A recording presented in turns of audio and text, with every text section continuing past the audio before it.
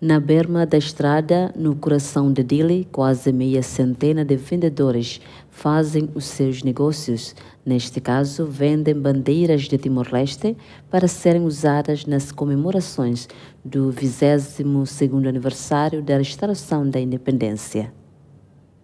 Por volta das 9 horas da manhã, perto do Hotel Timor, algumas dezenas de vendedores estão a vender bandeiras na berma da estrada aos transeuntes e motoristas que passam pela zona.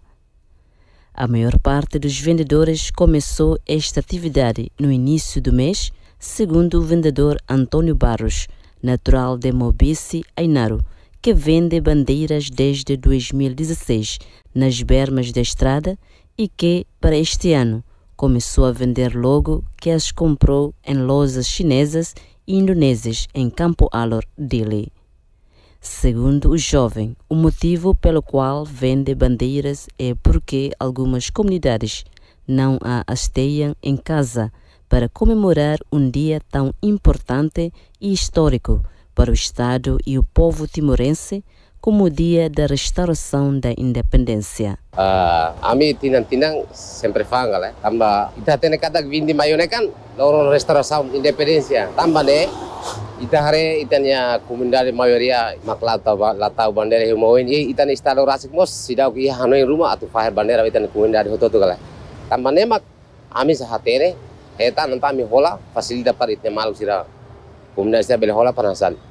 tau e didak ni moin para celebrar itne lorong restauração de independência Noutro local, em frente ao porto de Dili, onde quase duas dezenas de vendedores fazem o seu negócio, encontramos uma jovem Zuliana Araújo, residente em Balide, que confessou que a intenção de vender bandeiras é celebrar a restauração da independência e também ajudar a economia familiar. Sim, a estava vindo mana, a lo tá fanga essa nere. Tá, a mim cal fila lima essa bandeira né, tina tina essa fila lima né, essa fama essa ajuda fala be mina hanga Por outro lado, entre os vendedores há algumas crianças que vendem bandeiras e ainda frequentam o ensino básico, um das quais Rafael Bere, 10 anos. Ela está no quarto ano da escola Tuana Laran e revelou que as suas aulas são turno da manhã,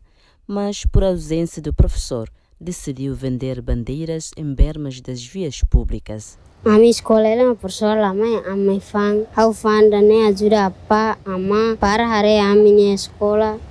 em relação às pessoas que vendem bandeiras em bermas de estradas públicas, na sua intervenção na sessão plenária do Parlamento Nacional, esta segunda-feira, o deputado do CNRT, Natalino da Costa, manifestou a sua preocupação com o facto de cidadãos timorenses estarem a vender a bandeira nacional em vias públicas de Dili. Segundo o deputado, o governo devia estar atento aos cidadãos que estão a vender a bandeira nacional porque ela simboliza o Estado de Timor-Leste e representa o país internacionalmente. Sobre esta questão, Antônio da Silva Barros argumentou que os negociantes estão a vender bandeiras porque o governo não as distribui para que os cidadãos a possam hastear em suas casas. Aula intervém,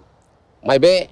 Hagusan sana sekarang deputado sira ya ne intervenção política ni kuliah kata kami si dalam level fam bandar istra istra ribung ka dalan ini então estado sira ya na hanoin eh deputado na rasik ya na hanoin tau plano ya bes sira ni hanoin atu fah bandera ba kunda di hana ka sirau timor leste fah na ka sirau estado rasik ya hanoin atu fah na ka sirau Zuliana disse ainda que se sente desconfortável com a declaração de Natalino dos Santos, uma vez que já vende bandeiras há muitos anos. Ah, ami tinan tinan me